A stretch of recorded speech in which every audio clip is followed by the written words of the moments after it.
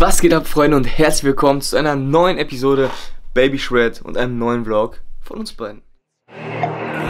И я потрачу на тебя свой самый лучший день И я потрачу на тебя свою лучшую ночь Потрачу все, потрачу все, чтобы тебя Es ist gerade 9 Uhr, ich bin vor ungefähr einer halben Stunde aufgestanden, jetzt gleich geht es schon ins Training. Gestern war ich nämlich etwas länger wach, weil Saskia bis 12 Uhr gearbeitet hat, 24 Uhr. Ich habe sie dann abgeholt, dann haben wir noch ein bisschen was gegessen, ein bisschen gechillt. Und auf jeden Fall gibt es gleich erstmal einen Kaffee, dann geht es ins Training. Endlich wieder Training, Freunde. Ich war jetzt schon, glaube ich, die letzten vier Tage nicht mehr im Gym. Hatte den Grund, dass ich eine Erkältung hatte und die Nase einfach zu war, der Hals so ein bisschen, ja, einfach nicht perfekt aufgestellt. Dann habe ich lieber Pause gemacht, als dass ich zum Training gehe und das Ganze nur verschlimmer. Heute fühle ich mich auf jeden Fall hundertprozentig gut und deswegen geht es auch wieder ins Training. Heute steht Pull auf dem Programm. Ich habe so Bock wieder zu trainieren. Ist zwar schon ein bisschen früher, weil wir gleich noch ähm, eine Content Creation für einen Kunden haben, aber ich habe auch irgendwie Bock jetzt mal früh Kaffee rein, ins Training, zerreißen.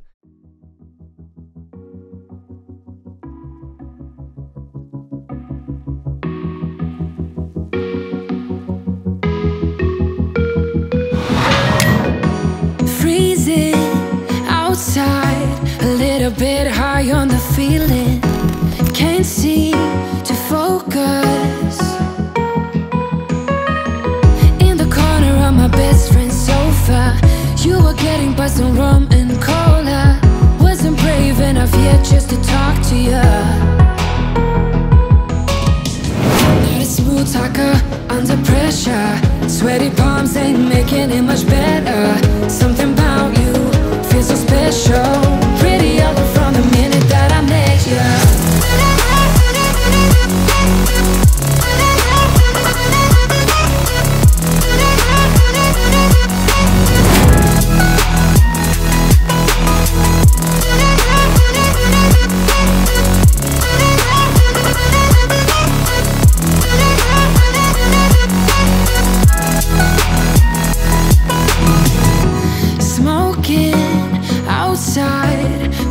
To get your attention.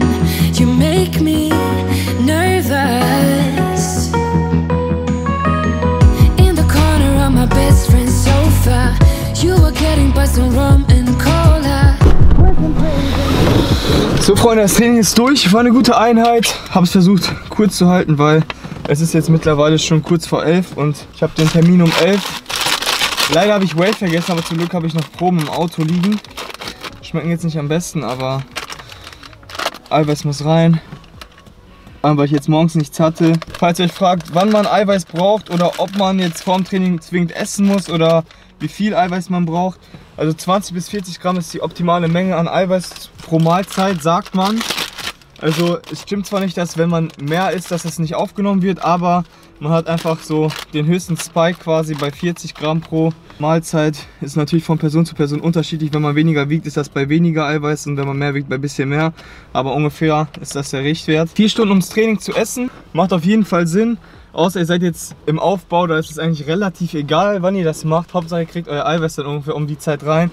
Wobei das dann auch nicht mehr so krank relevant ist, wie wenn ihr, wie ich jetzt in der Diät seid und so ein hohes Defizit habt. Da ist es schon ein bisschen wichtiger, auf sowas zu achten, dass man auf sein Eiweiß kommt. Beziehungsweise, dass man einfach sein Eiweiß ein bisschen timet. Mealtiming wird ja immer so deklariert, als wäre es überhaupt nicht wichtig, aber hat auf jeden Fall seine Daseinsberechtigung. Und jetzt geht's erstmal zu Willi. So Freunde, ich habe jetzt gerade geparkt. Ich warte hier nämlich auf Willi. Die nehme ich hier mit, weil da wo wir hinfahren ist der Parkplatz mega klein. Da wird sich der Twingo besser anbieten zu parken. Und nur deswegen treffen wir uns kurz hier, ist ungefähr in der Mitte. Und dann packe ich ihn ein und dann geht's dahin. Auf jeden Fall, kurzer Fun Fact, diese Uhr habe ich gefühlt immer bei den Shootings an. Also immer wenn wir Bilder machen sind oder Content Creations machen, habe ich diese Uhr an, weil ich sie einfach so krank bequem finde. Übrigens, die Uhr ist von Movement, mit denen arbeiten wir schon sehr lange zusammen. Die haben mega, mega geile Uhren, mega, mega geile Sonnenbrillen. Jetzt gerade braucht man keine Sonnenbrillen, außer jemand von euch lebt irgendwo, wo die Sonne scheint, was ich aber eher weniger glaube. Aber wenn ja, dann äh, Grüße geht raus. Auf jeden Fall ist das die Ghost, glaube ich, heißt die. Der Link ist immer in der Beschreibung. Also wenn ihr Uhren braucht und sogar noch 15 Dollar sparen wollt, schaut einfach mal in die Beschreibung. Benutzt unseren Code Engels15. Damit unterstützt ihr uns ein bisschen. Und was ich euch damit einfach sagen kann, also bei uns sieht so aus, wenn wir quasi über unseren Code verkaufen, bisschen Prozente pro Verkauf. Also wenn ihr eine Uhr braucht und unterstützen wollt, dann gerne einfach in der Beschreibung abchecken. Da ist übrigens Willi, ich muss Platz machen. Ich gehe nach hinten. Kann er hier parken. Klasse. Machst du das, Willi? Ja. Ja, noch ein bisschen, noch ein bisschen. Klasse. Jetzt komme ich gleich nicht mehr raus. Stopp, stopp! Hi. Hi, Alter, was geht? Komm mal ran hier. Ja, hi. Hier sind die, hier sind die Knebelverträge. Shit. Ich muss jetzt wieder Schutzgeld an Willi bezahlen. Shit. Willi. Komm jetzt! Ich mach jetzt mal Platz. Bist du der Lichttechniker? Ich bin der Lichtpraktikant, richtig. Komm mal mit. Ja, mach ich. Bis Gut, gleich. bis gleich. Ja, wow. Eine Kiste schön. mit Wasser. Schön. Schmeiß mal rein. Ah. Nice. Wie geht's euch, Freunde? Habt ihr mich vermisst im Training? Ich wurde wieder von fünf Leuten im Gym angesprochen. Ehrlich? Obwohl wir nicht zu dieser Zeit normalerweise gehen. Aber war geil um die Uhrzeit, ehrlich. Genau, jetzt erstmal ein kleines Shooting machen. Kein kleines Shooting. Ein Shooting, eine Content Creation. Die wird mindestens vier Stunden gehen, Willi. Da gibt es kein kleines Shooting. Willi hat die Gewohnheit einfach so, ähm, damit so entspannter ist, das zu sagen. Ein kleines Shooting. Kleines Shooting. Oh. Ja, was machst du? Du hast 8 Meter 1000 Platz. Nach eben. hinten auch. Ne. Aber Ja. ein bisschen. Okay, wir sehen uns Ey, lass später. mich doch raus.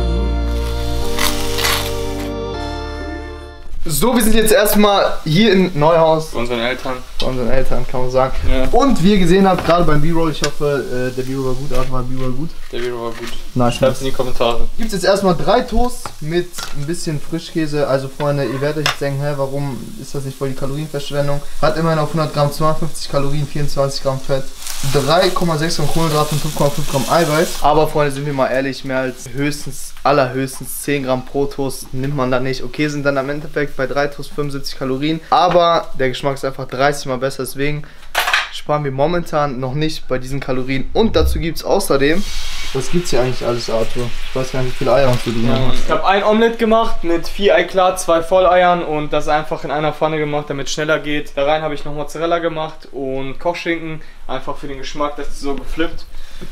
Und ja. Und hier kommt noch erstmal auf die Toast natürlich nicht nur das hier, sondern noch ein Bisschen bisschen Chicken und Gurke für die Tastigkeit. Und gerade ist es 3 Uhr und meine erste Mahlzeit du diese hier sein. Noch gar nichts. Nichts. Ja, Wasser. Aber Also nix. ne, mit ich glaube, ich faste. Mach Intermittent Fasting für Minicut. Also du glaubst, du machst das jetzt immer? Oder das war jetzt gerade ein Beschluss, oder? Ne, ich, ich, also jetzt gerade finde ich es zum Beispiel ganz cool. Aber du hältst es dir offen.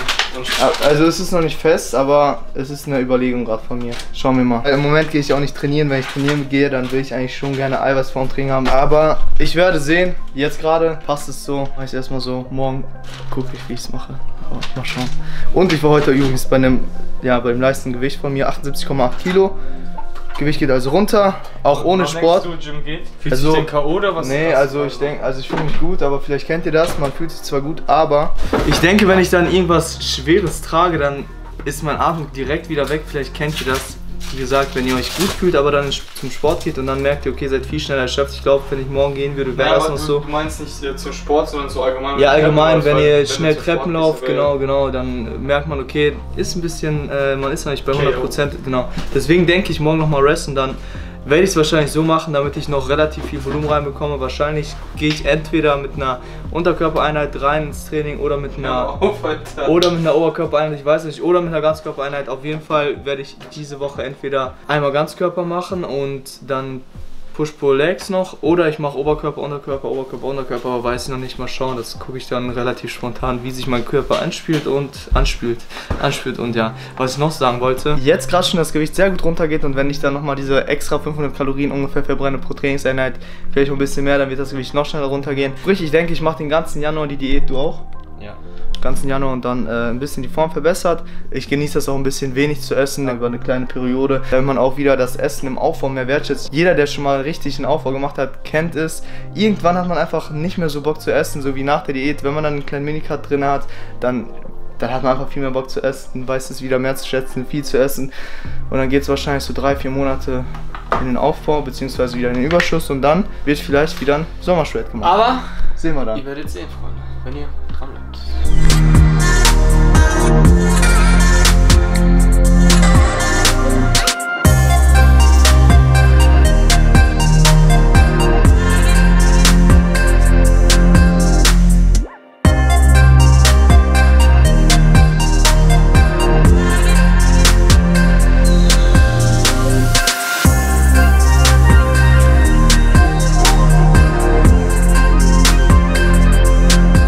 Wir wollen das Video auch jetzt an dieser Stelle beenden. Genau, es ist jetzt erst 4 Uhr, aber wir beenden das Video schon, damit das Video einfach nicht zu lange wird. Und ich hoffe, dass ich im nächsten Video, ich denke aber schon, noch mehr vertreten sein werde, auch von Anfang an, auch im Training. Es, heute ist Montag. Auf jeden Fall hoffen wir, euch hat das Video gefallen. Ihr könnt sehr, sehr gerne ein Like da lassen. Hilft unserem Kanal beim Wachsen.